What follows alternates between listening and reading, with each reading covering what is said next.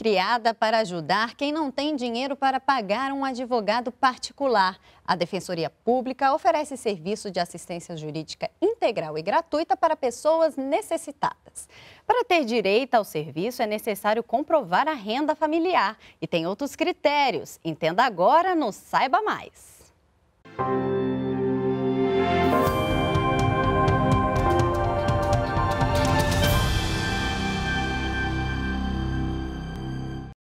Quem está aqui com a gente é Carolina Botelho, defensora pública federal. Grata por estar conosco no programa. Obrigada, Lili. É um prazer grande para a Defensoria. Carolina, eu queria que você explicasse primeiro para a gente quais são as atribuições da Defensoria Pública da União. O papel da, da DPU, que é a Defensoria Pública da União, é prestar assistência judiciária gratuita às pessoas que não têm um advogado, não podem pagar por um advogado e têm algum problema que diga respeito ao governo federal, à Justiça Federal. E isso pode ser tanto na tutela coletiva ou individual, né? É, a defensoria ela dá atenção tanto ao seu problema individual, então você vai lá e pede uma defesa para você, porque você foi está sendo processado ou porque você quer processar o governo, como trata de questões também que envolvem a todos. Então tem um problema na cidade, na, naquele estado com relação a um determinado medicamento. Então a gente tenta uma ação coletiva que, def, que é, beneficia a todos. Pessoa jurídica também está incluída? A atuação da Defensoria Pública da União, ela é voltada para os grupos vulneráveis. Então, a questão maior é a vulnerabilidade. O nosso foco maior são é a população vulnerável de baixa renda. Mas isso não exclui por si só uma, uma pessoa jurídica, porque se você tem a, a microempresa que tem uma dívida. Em que momento o cidadão pode acionar a DPU? É, a primeira coisa que o cidadão tem que ter em mente é qual é o tipo de problema que ele tem.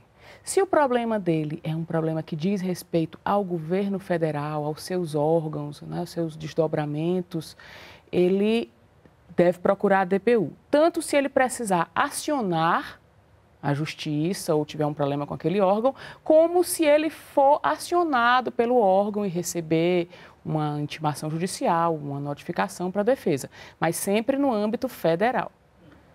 Vamos à primeira pergunta. É do Roberto Niander, da Rádio Sorocaba, da cidade de Sorocaba, em São Paulo. Bom, eu gostaria de saber quem tem o direito e quais são os critérios para ter o direito de ser atendido na Defensoria Pública da União. Roberto, a DPU, ela atende principalmente, assim, o público dela é a, a, parcela mais vulnerável da população. Então, pelos nossos regulamentos, nossos regulamentos internos, significa aquelas pessoas que têm renda familiar bruta de até dois mil reais. Isso pode ser flexibilizado dependendo da situação específica, dependendo do tipo de problema, mas a rigor a defensoria é pensada e criada para a população mais vulnerável. Tem que comprovar que tem a incapacidade Sim. de pagar um advogado, né? Sim. É, e aí, por isso, a gente tem esse critério de renda familiar bruta, ou seja, to, o que todo mundo na casa junto ganha, até dois mil reais. Mas há casos em que, se a pessoa comprovar que, se ela pagar um advogado, vai comprometer a renda da família, né, a sustentabilidade, por exemplo, né, compra de medicamentos que são caros, uma alimentação específica para a pessoa que tem uma doença específica, é, Pode. a situação, a gravidade da situação peculiar daquela família é sempre considerada para possibilitar a flexibilização e também o tipo do problema. Então, a pessoa que que, que, tem, por exemplo, tem alguma renda, mas ela está precisando de uma medicação de alto custo. É, a defensoria é tendente a flexibilizar a, a análise da renda nesses casos. É um idoso uma família, um casal uhum. idoso, que aí tem muitos gastos com medicamento. Então, nós somos tendentes a flexibilizar, tanto pelo tipo de problema, como pelas peculiaridades do grupo né, familiar. A hipossuficiência mesmo, né? Sim. Agora, na questão da pessoa, né? Pode ser tanto vítima quanto a própria pessoa que cometeu o crime, né? Que podem ter acesso. É. Na, no caso da DPU, na questão criminal, nós atuamos sempre que um crime. Como é que você sabe se o crime é da, da atribuição da DPU? É aquele crime federal. hum. de uma maneira geral, é aquele que envolve a Polícia Federal, a Polícia Rodoviária.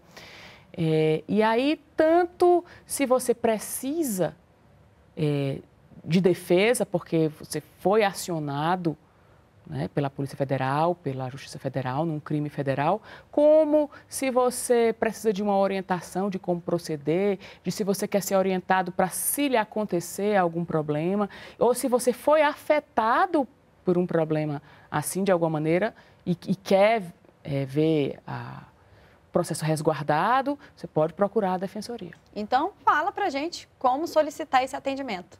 A defensoria está presente em todos os estados do país e são mais de 70 unidades. E para localizar a unidade mais próxima de você, procure no site da DPU. Para solicitar né, esse atendimento, a gente tem que levar umas documentações. Conta para gente quais são as documentações necessárias. Você leva a sua documentação pessoal básica, RG, CPF, comprovante de endereço recente, é muito importante, e leva comprovação de renda também que você tiver de renda e de gastos extraordinários. Além disso, não esqueça de levar tudo o que você tiver que você acha que possa auxiliar na compreensão do seu pedido. Então, você tem um problema contra o INSS, leva os papéis do INSS, leva sua documentação trabalhista, sua carteira, seu carnezinho de pagamento. Seu problema é de auxílio-doença, leva seus atestados. Você tem um problema com a Caixa Econômica por causa do seu financiamento, do FIES ou financiamento habitacional, leva o contrato, leva aqueles e-mails em que foram documentados o problema, né? O Fábio Torres, de Belo Horizonte, Minas Gerais, também tem uma dúvida. Vamos acompanhar.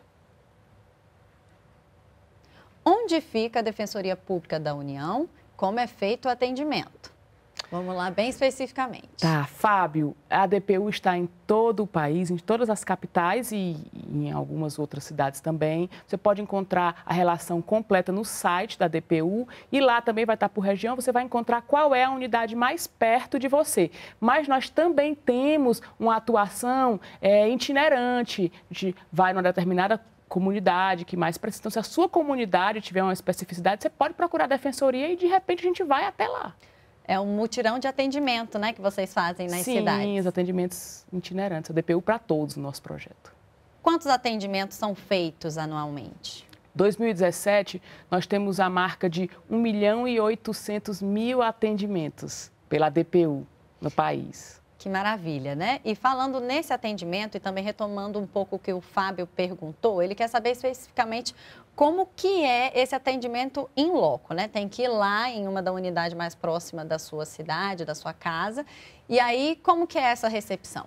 É, você procura a unidade, o atendimento normalmente é de segunda a sexta, no horário. As causas urgentes são atendidas imediatamente e alguma coisa que não seja tão urgente vai agendada, mas não é um prazo tão longo. Leva a sua documentação e aí você vai imediatamente ser atendido, vai ser aberto um procedimento em que vai ser narrada a sua história junto aos seus documentos e na mesma hora você já vai saber quem é o defensor responsável pelo seu caso.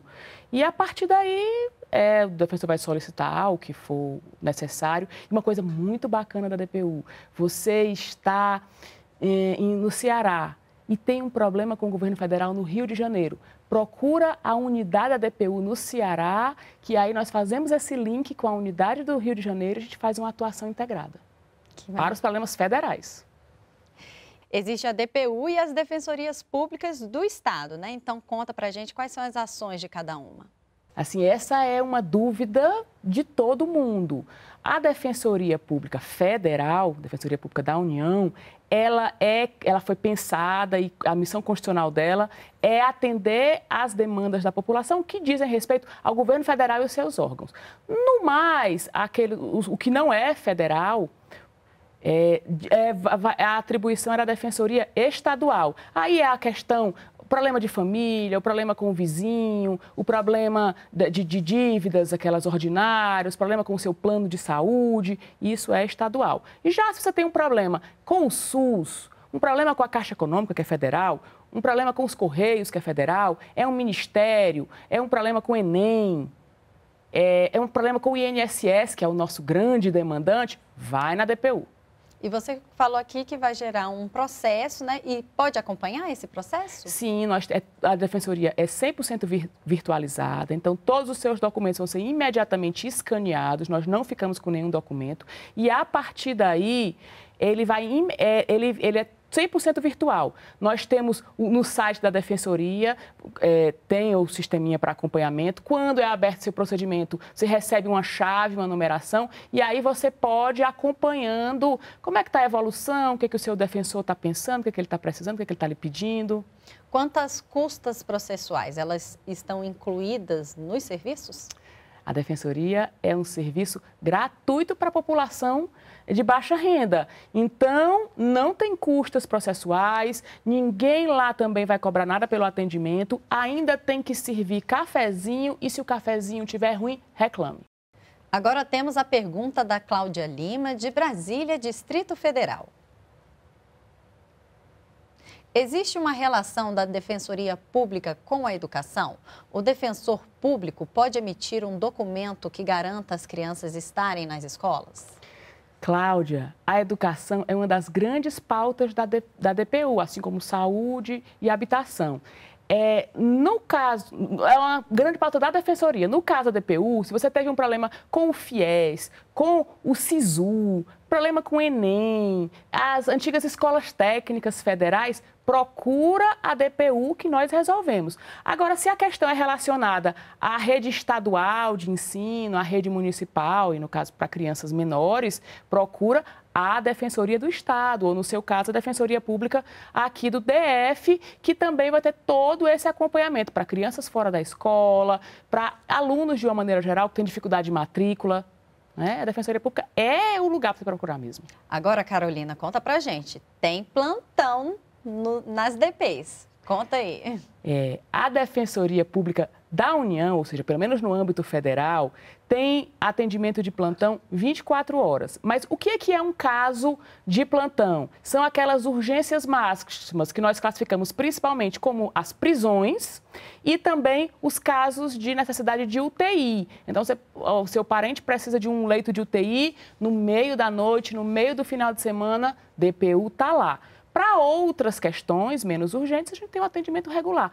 No âmbito estadual, cada defensoria do Estado tem o seu momento próprio, o seu horário próprio, mas assim, a ideia é sempre atender as urgências. E lembrando que não é só questão de ação judicial, pode só uma orientação também pode procurar.